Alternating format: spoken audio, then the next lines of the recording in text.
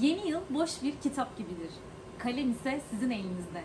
Kendinize güzel bir hikaye yazacağınız mutlu sonlu bir yıl olsun. İkinci Adam Yayınları ailesi olarak yeni yılınızı şimdiden en içten dileklerimizle kutluyoruz.